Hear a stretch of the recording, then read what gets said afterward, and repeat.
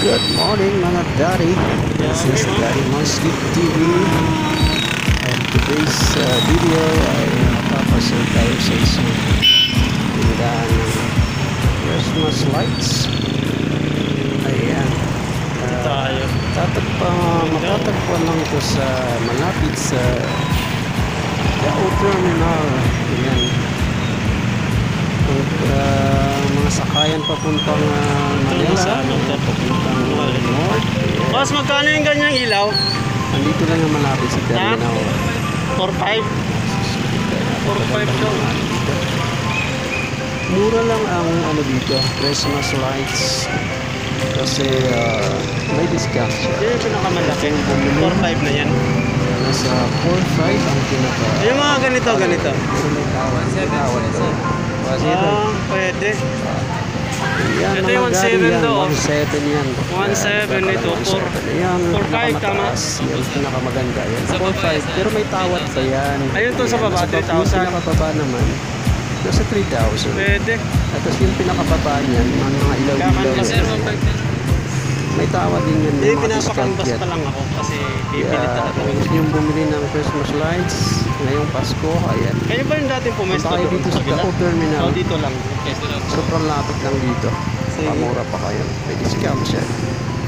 Pinicturean ko lang ba anong, kung anong magustuhan niya.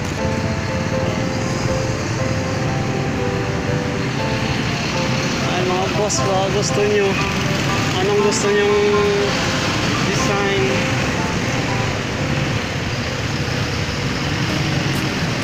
Ah, oh, ganda. Dito lang yan, malapit sa ano, ah, Mabalacat Terminal. Dito sa may Daung. Ang ganda tingnan eh.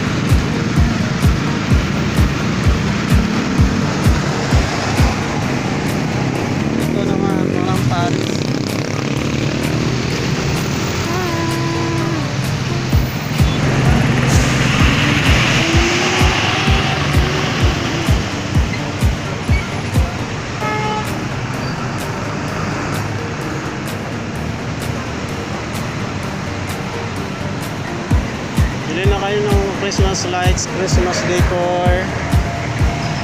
Dito lang yung sa Dao Terminal, malapit sa City Mall. Malapit lang to sa bahay namin. Ay guys, baka gusto nyo bumili, dito lang kayo.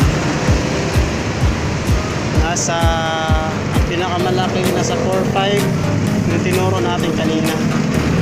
Depende sa size, tsaka sa laki, tsaka sa design. Kaninang 1.7 1.5 na lang daw so may tawad kung bibili kayo. Kaya kung gusto nyong bumili ng Christmas decor, Christmas lights ayan, punta kayo dito. Malapit lang sa dikit lang to ng City Mall daw terminal mismo. Dito lang, napagitnaan lang ng City Mall tsaka Shell gas station Ganda na tingnan pag lalo na pag gabi.